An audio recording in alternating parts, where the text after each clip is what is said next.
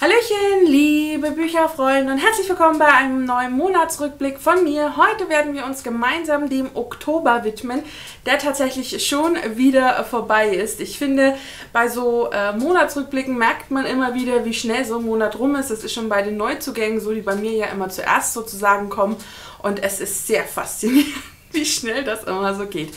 So auch äh, der Oktober, der allerlei Bücher äh, zu bieten hat, einen wunderbaren Urlaub und andere Highlights und schöne Dinge. Und äh, ja, ich denke, da fangen wir einfach mal wie immer mit den Büchern an. Ich hoffe, ihr habt ein bisschen Tee oder ein Käffchen. Ich sitze hier vom Kamin, der unglaublich herstrahlt. Aber wir machen es uns ja immer gemütlich äh, zu den Monatsrückblicken, wie wir das ja auch im letzten Monat gemacht haben. Und ja, wir fangen mal ein bisschen an mit Statistik. Ich habe 13 Bücher gelesen. Das waren insgesamt 4924 Seiten. Es war auch ein Wälzer äh, dabei. Und insgesamt sind das 164 Seiten am Tag gewesen, durchschnittlich. Es waren acht echte Bücher, vier E-Books und ein Hörbuch. Jetzt muss ich nachrechnen, ob das stimmt. Das äh, passt auf die 13. Also tatsächlich auch ein bisschen gemischt. Äh, die Mehrheit, dass es diesmal Bücher tatsächlich sind, äh, hing auch so ein bisschen mit dem Urlaub zusammen, weil ich im Urlaub eben keine E-Books dabei hatte, sondern in der Woche dann auch Bücher äh, gelesen habe, wobei ich im Urlaub tatsächlich relativ wenig vergleichsweise lese, äh, weil ich tatsächlich stundenlang aufs Meer geguckt habe. Aber dazu dann ein bisschen später mehr. Ja, es gab vier Highlights und ich habe mir zwei Flops angezeichnet. Ich glaube, dass ich einen Wälzer gelesen habe hatte ich gesagt, das war Origin äh, von Dan Brown mit 672 Seiten. Alle anderen Bücher lagen darunter. Ich gucke noch mal kurz in die Statistik. Und wie auch beim letzten Mal möchte ich die Highlights kurz vorstellen, dann auch äh, ja im Grunde die Flops des Monats und dann ähm, ja nicht über alle Bücher sprechen. Denn das könnt ihr ausgiebig in der Bücherwoche. Seht ihr die Rezension zu den einzelnen Büchern. Hier möchte ich wirklich nur kurz äh, ein bisschen was dazu sagen. Ja, das erste Highlight in diesem Monat war Size von Neil Schusterman. Das ist der Auftakt einer neuen Reihe von ihm. Und das habe ich gehört auf Audible. Und das war die Synchronstimme von Sean Bean also von Boromir aus Herr der Ringe oder auch als äh, Ned äh, Stark aus Game of Thrones zum Beispiel, wobei ich glaube schon Bean ist vielen Filmlustigen auf jeden Fall auch ein Begriff. Und das war schon ein absolutes eigentliches Highlight, dass eben die Synchronstimme dieses Hörbuch für mich vorgelesen hat, denn ich habe mich da wirklich großartig beigefühlt. Ich fand die Stimme unglaublich gut. Ich finde, das ganze Hörbuch war wunderbar präsentiert, auch mit so ein bisschen Musik zwischendurch und dann natürlich auch, und das ist das Wichtigste, die geile Geschichte. Ich habe von Neil Schusterman noch vollendet, glaube ich, auf dem Sub. Ja, ich glaube als E-Book und äh, habe es aber noch nicht äh, irgendwie gelesen und äh, weiß auch gar nicht so richtig warum, weil es doch auch relativ gute Stimmen äh, hat und habe mich direkt an Size gewagt, weil ich die Idee mit einer äh, zukünftigen Welt, in der alle Menschen unendlich leben können, sehr alt werden können und auch äh, ja, das Alter behalten können, das sie gerne hätten, sehr fasziniert hat und dass man dann eben diese Size-Gilte hat, die eben so eine Art Todersatz sind, die also tatsächlich die Menschen dann töten kann aus Gründen oder aus unterschiedlichsten Gründen. Und wir hier eben zwei junge Menschen verfolgen, die äh, ja nicht ganz positiv diesem System eigentlich gegenüberstehen und die aber dann äh, ja ausgebildet werden als neue Size und äh, ja, das schon sehr brutal war, sehr hart war, sehr strange war, eine grandiose Idee war und ich wirklich hin und weg war von diesem Hörbuch. Also die ganze Geschichte fand ich mega spannend, toll erzählt, sehr bildhaft, sehr lebendig, aus verschiedenen Blickwinkeln erzählt und äh, ja, da fließt schon äh, das erste Schweißtröpfchen. Also es ist hier gerade echt unerträglich warm. Eine blöde Idee und dann auch noch die Softbox anzumachen. Ich weiß gar nicht, wie ich auf die Idee gekommen bin. Aber egal. Ja, also ein ganz, ganz tolles Highlight, was mir mega gefallen hat und wo ich mich jetzt schon auf den zweiten Teil sehr, sehr freue. Das zweite Highlight habe ich dann im Urlaub gelesen und das war Die Brut, die Zeit läuft von Etsy Kilboon. Das ist der zweite Teil der Die Brut-Reihe, wo sich ja eben die Brut aufmacht und das in Form eines ganz ekligen Insektes und die Welt sozusagen angreift, die Menschen im Nu auffrisst und wir eben ähm, ja aus verschiedensten Blickwinkeln, wir haben drei, vier äh, gleichbleibende Erzählstränge, aber immer wieder andere Menschen, die uns etwas dazu erzählen, wie sie etwas finden, äh, vielleicht auch sogar, wie sie sterben, ganz unterschiedlich. Und so erfahren wir weltweit, äh, was es im Grunde mit der Brut auf sich hat. Der zweite Teil war mega spannend. Ich war schon beim ersten total hin und weg, habe mich unglaublich geekelt, hatte viele Gänsehautmomente und so war es dann auch im zweiten Teil. Zum Glück lag ich zum großen Teil der Geschichte am Strand äh, weil ich fand, dass ich hatte sogar am Strand Gänsehaut. Und das mag bei 32 Grad in Ägypten tatsächlich was heißen. Ein Wahnsinns-Thriller, der mir unglaublich gefällt. Ich weiß, es gibt da auch gemischte Stimmen dazu, aber ich fand ihn großartig und freue mich jetzt schon auf den dritten der, glaube ich, soweit ich weiß, im Frühjahr auch rauskommen soll. Dann wieder eine Fortsetzung, diesmal ein dritter Teil einer Reihe, und zwar die Gabe der Auserwählten von Mary E. Pearson. Eine Reihe, die ich unglaublich liebe, dass ich nie gedacht hätte, dass ich sie mag. Ich äh, Kuss der Lüge dem ersten Teil sehr, sehr skeptisch gegenüberstanden, dass es wieder so eine Dreiecks-Jugendbuchgeschichte ist. Ich aber einfach diesen High-Fantasy-Touch unglaublich mochte und ich auch Lia, unsere Protagonistin, sehr ins Herz äh, geschlossen habe und auch den Prinzen und den Verfolger und wie diese Welt einfach weitergeht. Und ich war tatsächlich enttäuscht, als ich gesehen habe, dass in Deutschland äh, die Buchreihe von der Trilogie auf vier Teile aufgeteilt wird, also der letzte Teil sozusagen zwei Teile bekommt in Deutschland. Äh, Finde ich mega schade, aber ähm, ja, ist jetzt so. Der vierte Teil soll auch im Frühjahr erscheinen und ich freue mich auch hier sehr auf den letzten Teil. Und dann äh, war noch ein Highlight jetzt ziemlich am Ende des Monats, Swan Song von Robert McCammon nach dem Ende der Welt, eine Endzeit-Apokalypsen-Geschichte die ich sehr, sehr gelungen fand, die auch sehr brutal war, an mancher Stelle mir auch persönlich fast schon too much war, aber es einfach sehr bildhaft war, episch war, sehr atmosphärisch erzählt wurde und es etwas war, was ich auch gar nicht erwartet habe, dass es mich so wegflasht. Ich aber wirklich sehr spannend fand, es äh, unglaublichen Spaß gemacht hat, diese Welt zu entdecken. Hier haben wir auch drei unterschiedliche Haupterzählstränge, die uns eben von dem ja, von der Apokalypse erzählen, von dem Atomkrieg, der im Grunde äh, ja ausgebrochen ist auf der Erde, äh, wie die Erde vernichtet wird, wurde und wie die Menschen eben sich dabei fühlen, was äh, mit ihnen passiert. Und wir verfolgen eben verschiedenste Menschen dabei. Und das war, war sehr spannend erzählt. Also es war ja, es war manchmal auch schon echt gruselig, es war erschreckend und man hat halt immer das Gefühl, genau so wären die Menschen. Und ich mag dieses Gefühl, auch wenn es mit vielen negativen Dingen belastet ist in Büchern, wo man denkt, aber trotzdem noch so negativ wie das ist, das ist tatsächlich möglich und man kann sich äh, die Menschen da einfach so vorstellen. Und äh, auch ein Highlight und ich möchte unbedingt äh, in diesem Jahr noch, vielleicht im Dezember, den zweiten Teil lesen, der schon erschienen ist und dann auch die Geschichte abschließt, weil ich möchte wissen, was es mit Swan Song dann am Ende auch äh, zu tun haben wird. Dann kommen wir so ein bisschen zu den Flops. Ich habe, glaube ich, kein abgebrochenes Buch, wenn ich mich irre. Nein, ich habe kein abgebrochenes Buch, aber Bücher, die mich ein bisschen enttäuscht haben. Und eins davon war äh, White Sands von Geoff Dyer.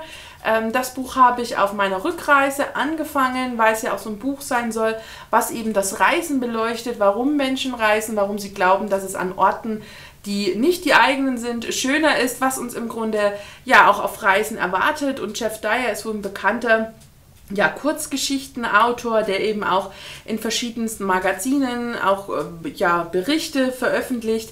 Und mir hat der Autor bis jetzt noch nichts gesagt und ich hatte mich hier auch auf wunderbare Kurzgeschichten über das Reisen, über verschiedene Orte und auch verschiedene Menschen gefreut, die da eben reisen. Ganz oft sind diese Geschichten aber autobiografisch Heißt das so? Ja. Also von ihm selbst erzählt mit ein paar Freiheiten wahrscheinlich, die sich nicht unbedingt komplett genauso zugetragen haben, künstlerische Freiheit, äh, was ich auch absolut äh, verstehen kann. Und ich fand aber äh, tatsächlich die wenigsten Geschichten gut und spannend. Ich fand sie eher so dahin plätschernd und ich mochte sehr selten seine Weltsicht, wie er die Dinge gesehen hat. Denn er steht doch recht oben drüber über den Menschen scheinbar, weil er halt gebildet ist, einen tollen Job hat und das lässt er tatsächlich in vielen Geschichten auch so ein bisschen raushängen, wo ich dachte, ach, das macht aber gerade deinen Geschichtenerzähler nicht sehr sympathisch. Und wenn man jetzt eben bedenkt, dass er sich da selbst beschreibt, wer weiß, vielleicht war es auch Absicht, das kann man ja nicht wissen. Aber ähm, das hat mir nicht gut gefallen und dementsprechend war es eher so okay. Es war auch keine Geschichte dabei, die einem langfristig im Kopf bleibt. Es war so mittelmäßig und ja, ich habe es gelesen, ich habe es auch nicht beendet. Was natürlich auch daran lag, dass man denkt, bei der nächsten Geschichte wird es vielleicht besser oder wird es anders oder jeder Geschichte gibt man ja eine Chance und es war jetzt auch nicht so extrem grottig, dass ich es mittendrin irgendwo abgebrochen hätte. Von daher, ähm, ja, war es enttäuschend. Und dann Oh, und ihr glaubt nicht, wie schwer es mir fällt, dieses Buch als äh, enttäuschend äh, in diesem Monat zu beschreiben, ist das neue Buch von Sebastian Fitzek, Flugangst 7a, wo ich auch nach einer Woche immer noch nicht weiß, wie ich es finde. Und das habe ich auch schon in meiner Bücherwoche gesagt, dass ich es war entweder Genialität pur oder es war der größte Mist. Und ich finde mich irgendwo in der Mitte ein, weil ich mich nicht entscheiden kann. Ich kann das immer noch nicht. Es äh, war schon irgendwie ein Page-Turner, es war irgendwie auch spannend, man wollte wissen, wie es weitergeht, aber manches hat sich so unecht konstruiert, erfunden, angefühlt, es waren Zufälle, zu, zu, zu viele Zufälle und wie er eben auch so manche Menschen hingestellt hat, dass, dann so mit dem erhobenen Zeigefinger, ich es war irgendwie nicht mein Fitzek. Es war irgendwie nicht so, wie ich mir äh, ja, dieses Buch vorgestellt hatte. Ich hatte ja erwartet, dass ich als äh, Viel- und Gernflieger tatsächlich Flugangst verspüre. Aber dadurch, dass das so konstruiert in der Luft wirkte und nur damit ich herausfinde, der und der Platz ist da am sichersten und dort, äh, ich meine, da brauche ich kein Buch, da könnte ich mir äh, gefühlt auch irgendwelche Statistiken angucken. und ähm, ja, das ist eine Enttäuschung. Ich will auch gar nicht groß drüber reden, weil es mich selbst am meisten enttäuscht hat. Ja, das soweit äh, zu den Büchern. Was habe ich in diesem Monat ein bisschen gehört? Da kam doch einiges tatsächlich äh, zustande, was Musik angeht. Und zwar habe ich mir das neue Album äh, von Hertz äh, über Spotify angehört, Desire. Äh, ein Album, das mir wieder unglaublich gut gefallen hat. Es ist nicht ihr Bestes. Ich fand tatsächlich, dass es hier so ein bisschen Mainstreamer wirkt, nicht mehr ganz so genial ist wie andere Album, Alben von Hertz. Aber ich mochte es im Oktober tatsächlich gerne hören. Es lief äh, sehr viel äh, Untertage im Auto und äh, hat mich tatsächlich so jeden Tag ein bisschen begleitet. Auch die neue Single von 30 Seconds to Mars hat mich sofort begeistert. Walk on Water, ich bin ein Riesenfan von 30 Seconds to Mars und äh, habe mich mega gefreut, als ich gesehen habe, dass da die neue Single rauskommt und ich vermute dann auch im nächsten Jahr das neue Album. Und dieser Song ist für mich auch wirklich so ein Hammer Rocksong und ich liebe auch einfach die Stimme von Jared Leto. Ich finde, der könnte mir auch das Telefonbuch vorsingen. Das äh, ja, fand ich grandios. Und auch äh, da, die neue Single äh, von Pink, What About Us, finde ich unglaublich kraftvoll und äh, beeindruckend. Und ich mag auch diese Frau einfach, die ich schon seit Anfängen verfolge, ihre Alben alle hier habe. Und äh, jetzt ist ja auch ihr neues Album rausgekommen, zu dem ich im Oktober aber leider nicht mehr so gekommen bin, um da eine Meinung darüber zu haben.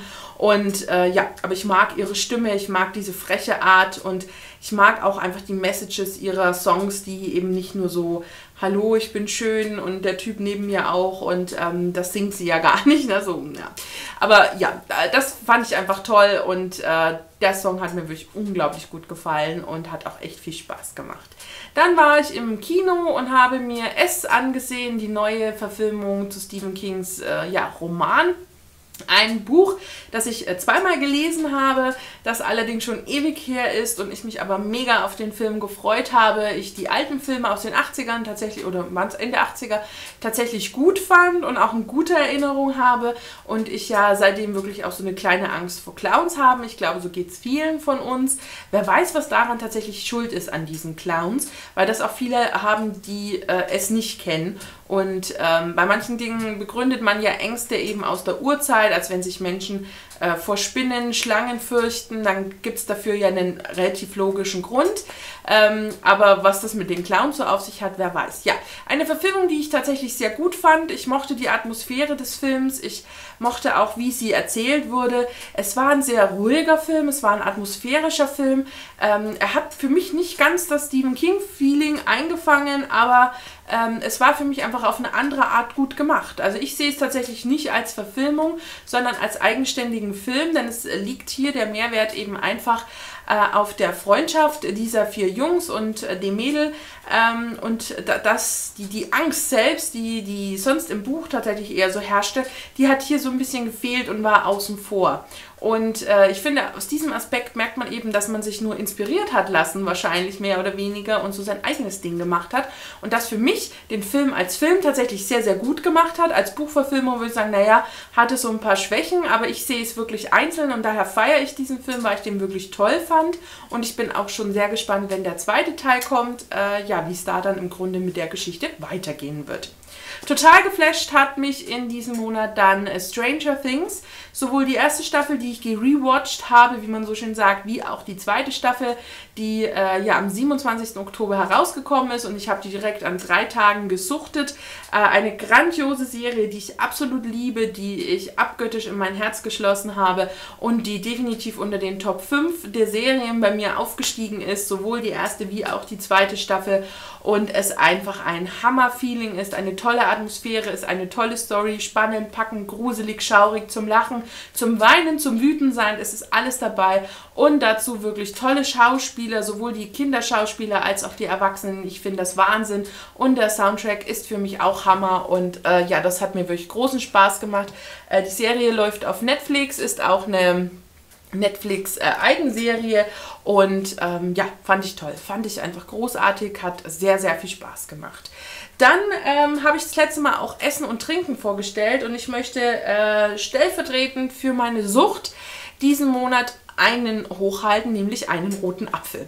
Ja, ich bin tatsächlich im Oktober apfelsüchtig gewesen. Ich habe, glaube ich, in den zwei Wochen nach meinem Urlaub je fünf Kilo Äpfel in einer Woche gegessen, was schon relativ viel ist. Ja, aber gut, ähm, ich nehme da wirklich äh, zwei Äpfel mit auf die Arbeit. Ich habe das morgens im Müsli, äh, greife abends nochmal dazu und schubs sind halt vier Äpfel so unter Tage weg.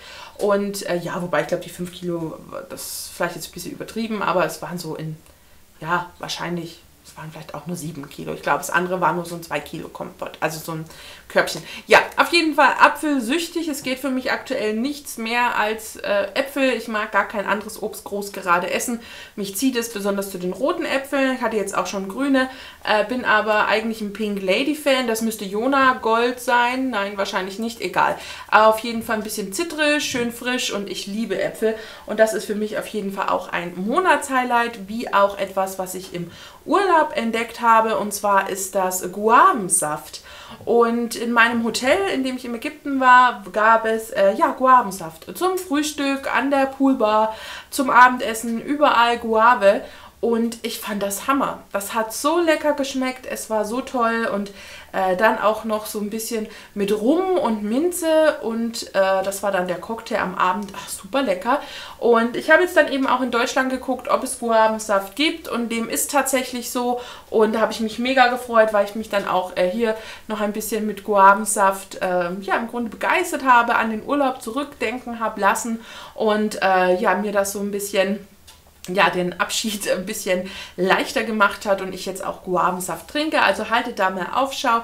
Ich habe ihn sowohl bei uns im Edeka gefunden als auch bei Marktkauf und ähm, super lecker. Also ich finde tatsächlich, äh, wenn man eine gute Qualität hat, ist das was ganz, ganz Tolles und ist wirklich, äh, ja, also ich habe mich total verliebt in Guavensaft. Ich glaube, ich habe den bewusst vorher nie so irgendwie wahrgenommen wie dann im Urlaub und danach. Also haltet da die Augen mal auf und guckt, ob das was für euch ist. Ich fand es wirklich mega lecker.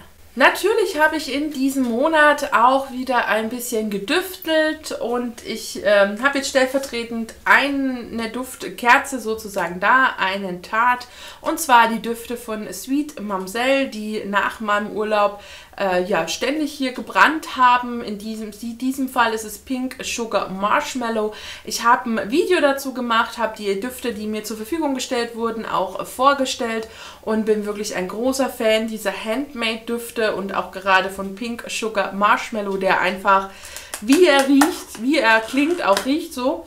ein absoluter Traumduft und ähm, ja, ich ein absoluter Fan bin von diesen Handmade-Düften und es war definitiv nicht meine letzte Bestellung oder, ne, also mich hat das, dieses Paket äh, ja nach meinem Urlaub oder im Urlaub erreicht oder kurz vorher und dann habe ich nach dem Urlaub die Düfte getestet und ich bin wirklich hin und weg und sehr, sehr begeistert. Nach wie vor liebe ich mein Yankee Candle Glass Black Coconut, das ich unglaublich liebe und das ist ja auch einer meiner liebsten Düfte. Ich denke auch so in den Top 5 auf jeden Fall und dank des Glases jetzt aktuell wirklich so ganz, ganz weit oben. Äh, weiterhin geliebt habe ich auch Spiced White Cocoa und das ist einfach so ein klassischer Teigduft für den Herbst-Winter und äh, da muss man gar nicht dazu sagen. Ich hatte auch einen Duft, irgendwas Schokoladiges mit Cappuccino, Trüffel, irgendwas, der äh, leider super lecker roch, aber mir extreme Kopfschmerzen bereitet hat, was ich dann tatsächlich nicht so toll fand. Und äh, ja, ansonsten ist doch ein bisschen was nebenher auch an Tazen so ein bisschen abgebrannt hier, aber ich war ja auch eine Woche nicht da und äh, da gab es tatsächlich den besten Duft. Und jetzt kommen wir wahrscheinlich zum Jahreshighlight schlechthin. Und natürlich gehört es für mich auch in den Oktober. Und zwar mein Urlaub in Ägypten. Ich war eine Woche weg. Ich hatte vorher so ein bisschen erzählt, dass es im Oktober weggeht. Den genauen Zeitraum natürlich nicht ganz verraten. Und war dann eben eine Woche unterwegs. Und ähm, ja, war in Hurghada. Das ist ja, ähm, ja, ich glaube, der touristischste Ort äh, theoretisch in Ägypten. War ich vorher noch nie. Ich war jetzt zum siebten Mal in Ägypten und war gefühlt immer südlicher. Und äh, diesmal hatten wir ja auch eigentlich äh, so gesagt so ein bisschen näher am Flughafen. Und dementsprechend äh, hat sich da halt, äh, ja, ist es halt Hurghada gewesen. Und direkt am Strand. Und ein ganz, ganz tolles Hotel hatte ich. Und ich war alleine unterwegs. Meine Begleitung ist ja äh, krank geworden, sodass ich allein geflogen ist, was erstmal schon zu einem Schock geführt hat, dann aber relativ schnell ich mir dann im Urlaub gedacht habe, was hast du dich da eigentlich aufgeregt? Und äh, wenn ich ehrlich bin, war es wohl mit der erholsamste Urlaub, den ich je hatte, weil man macht einfach sein Ding. Man steht auf, wann man will, man geht an den Strand, wann man will, man geht abends vom Strand weg, wie man möchte, man geht ins Wasser, wann man Lust hat und man geht eben ins Bett, wie man möchte. Und äh, so war es tatsächlich auch im Urlaub, das Punkt 6.03 Uhr das ist so auch oftmals die Zeit, äh, die ich aufstehe, wenn ich eben Frühschicht habe. Ähm, ja, der Wecker klingelt deswegen drei nach sechs, weil ich die Nachrichten nicht hören möchte morgens. Und deswegen sind es drei nach sechs. Und so in einem Zeitrahmen hat, hat mich meine innere Uhr dann auch im Urlaub geweckt, was sehr schön war. Denn ab halb sechs in etwa ging die Sonne in Ägypten auf. Und äh, so konnte man ihr wunderbar zusehen, wie sie, also ich hatte eben auch einen Balkon mit äh, Meersicht und ähm, konnte da eben wirklich sehen, wie die Sonne aus dem Meer emporkommt und war dann auch die erste um sieben beim Frühstück, die erste um Viertel vor acht am Strand und war auch gefühlt fast immer die letzte, die kurz nach fünf abends, da geht halt dann die Sonne weg und es wird schon ein bisschen frisch. ja, bei 25 Grad wird es frisch. Ähm, ja, also wir hatten tagsüber in der Sonne wunderbare Temperaturen über 30 Grad. Das Meer ist immer warm, das Rote Meer hat immer so zwischen 25 und 27 Grad. Es ist also wirklich nie kalt. Äh, aber wenn natürlich so eine frische Brise kommt und man kommt gerade aus dem Wasser, ist es ein bisschen huschig. Und wenn dann eben so die Sonne verschwindet abends, dann ist es halt auch ein bisschen kühler. Das muss man einfach so ein bisschen dazu sagen. Und abends, wenn halt der Wind geht, bräuchte man theoretisch ein Strickjäckchen. Ich hatte keine dabei und es war auch absolut okay und mich hat es nicht groß gefroren. Also von daher, ich äh, ja, bin auch niemand, der eine Klimaanlage im, im Urlaub nutzt. Von daher auch die Raumtemperatur war absolut angemessen, war nicht zu heiß, nicht zu kalt. Und äh, man konnte abends aber locker auch bis um halb zwölf auf dem Balkon sitzen und ja, oder länger und einfach so noch ein bisschen die Atmosphäre genießen. Das fand ich super schön. Es war ein toller Urlaub, es war ein tolles Hotel, es, ich habe tolle Menschen kennengelernt, äh, auch äh, zwei Ägypter, mit denen ich auch unterwegs dann war, was mir super viel Spaß gemacht hat und man so die Welt eben auch einfach durch die Augen ja, der, der Einheimischen sozusagen sieht, der Menschen vor Ort, was ich einfach besonders finde. Zudem hat mich im, äh, im Urlaub auch noch etwas zu einer Geschichte inspiriert, an der ich jetzt seit November schreibe. Dazu aber denke ich dann im nächsten Büchermonat oder Monatsrückblick mehr. Und alles in allem ein erholsamer Urlaub, ein ganz, ganz toller und schöner Urlaub und der dann aber auch viel zu schnell vorbei war. Und ähm, ja, leider das Ankommen dann tatsächlich äh, ein bisschen von einem Schatten geprägt war, denn wir an diesem Samstag, an dem ich heimkam, ist äh, ja unser lieber Simba gestorben gestorben, unser Kater, der eigentlich am längsten bei uns war. Der war vorher schon krank. Den habe ich in der Woche vor meinem Urlaub schon zweimal zum Arzt gebracht und da hieß es eigentlich, mit Spritzen und Tabletten kriegt man das äh, irgendwie schon wieder hin.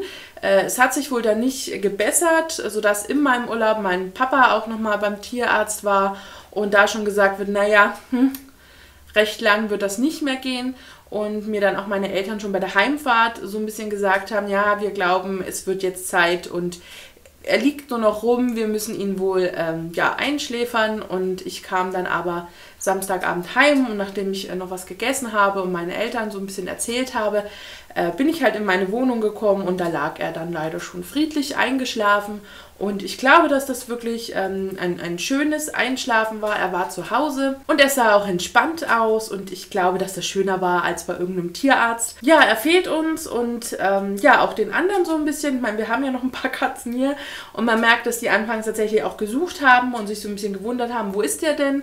Aber ich sage mir einfach, er hatte ein wunderschönes Leben bei uns und äh, wir hatten ihn ja aus dem Tierheim und wir haben ähm, ja wunderschöne Geschichten über ihn zu erzählen und ähm, er ist da irgendwo in seinem Katzenhimmel und äh, spaßt hoffentlich mit unseren anderen früheren Katzen umher. Und ja, das war natürlich schon, man kommt so nach dem Urlaub wieder, ist so total wumm. Und das war natürlich schon so ein Einschlag, wo man erstmal denkt, okay. Aber es ähm, war, glaube ich, tatsächlich leichter, weil man eben so entspannt war, als wäre es eine Woche eher passiert oder zwei Wochen. Ähm, na, dann wäre es vielleicht ganz anders gewesen. Aber ich glaube, er hat sich auch bewusst vielleicht diesen Tag irgendwo ausgesucht, es klingt so komisch, aber meine Mama hat schon gesagt, Mensch, er wollte auch nur noch hoch zu dir und wollte da seine Ruhe und äh, vielleicht hat er da einfach gemerkt, ähm, ja, da kann er jetzt loslassen und alles gut. Ich hätte mir persönlich gewünscht, dass er einfach nur einen Tag irgendwie gewartet hätte. Wäre nicht allein gewesen, aber ja, das überschattet natürlich so ein bisschen was, aber ähm, ja, im Herzen haben wir ihn und ähm, ja, gehört natürlich auch einfach dazu. Der Tod gehört zum Leben und ähm, ja, ja, in diesem Sinne passt das natürlich trotzdem in den Monatsrückblick, auch wenn es eben nicht ganz so was Schönes ist, aber es gehört einfach, ja, einfach dazu und deswegen dachte ich, äh, kann ich hier das auch mal so kurz ein bisschen erzählen. Und äh, ja, jetzt gucke ich gerade auf meinem Zettel. Ich habe äh, soweit über alles gesprochen aus dem Oktober und jetzt bin ich natürlich neugierig, was habt ihr so gelesen? Was sind eure Highlights? Habt ihr ein Buch, was ein absoluter Flop war? Wart ihr im Kino? Habt ihr Serientipps? Immer gerne her damit, würde ich mich mega darüber freuen. Und ich hoffe, ihr hattet ein bisschen Spaß mit der gemütlichen Art der, des Monatsrückblickes. Schreibt es mir natürlich gerne in die Kommentare. Und ich danke euch nun fürs Zusehen, wünsche euch noch einen schönen Tag, einen schönen Abend und bis zum nächsten Video. Tschüss, eure Steffi.